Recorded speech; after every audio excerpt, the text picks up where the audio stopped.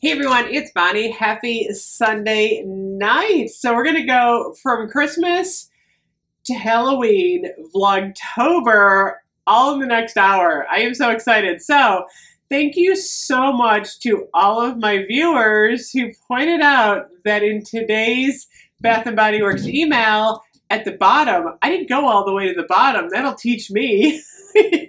go all the way to the bottom there was a notice about Christmas launch. I don't see it on the app. This is just in the email. So I was kind of surprised they just announced this in the email. So I'm going to put a screenshot up and it says, coming October 5th in the app only, member exclusive early access, join rewards, and download the app to shop holiday favorites first. Now, this is a little bit confusing to me because if it's in the app only, why aren't they promoting this on the app? And I was like, that's really odd um, that they put this in the email, but um, it's an app exclusive. So let me look one more time to see if it refreshed. Mm -mm, I don't see it. It says now hiring.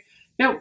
So this is an interesting um, turn of events at Bath & Body Works. So they're bringing Christmas out earlier and earlier. I don't think we've ever got it this early. We might have had a pop-up shop before. Usually what they do is they'll do like a pop-up shop, just one little kiosk in the store of like Vanilla Bean Noel Winter Candy Apple. I don't know what's going to be in this online member access. Supposedly Christmas is coming October 10th in the stores I still don't know. I don't know if it's body care. My guess is that it's just candles coming October 10th. So, the question that I want to know, that everyone wants to know, is what is actually coming on October 5th, which is this Wednesday.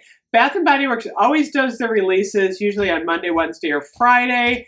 So Wednesday morning, 6.30 a.m., be there. I will be there. Um, they've already released a lot of their hand sanitizer stuff, although I did not see these online. Although I ordered them online, they were up, they were down. Um, this is the Winter Bean, Winter, I always do that to you guys. The Winter Bean Noel, Winter Candy Apple, and Vanilla Bean Noel. I'm mashing everything up. Um, there's also a Twisted Peppermint in um, the moisturizing hand sanitizer. I've already been using these, you guys. These are absolutely fabulous. Oh my gosh, Twisted Peppermint, I miss you so much. Oh, that smells so good. I'm really hot on Twisted Peppermint right now, and I don't even know why.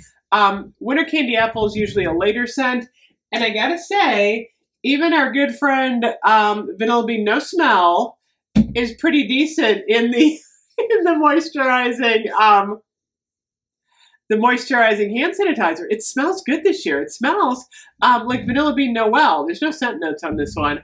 So um, PocketBacs are out and um, the little mist. I got, these are the first Christmas items that I got this year. First out, look at, and then of course we have um, some of the winter wallflowers rolling in.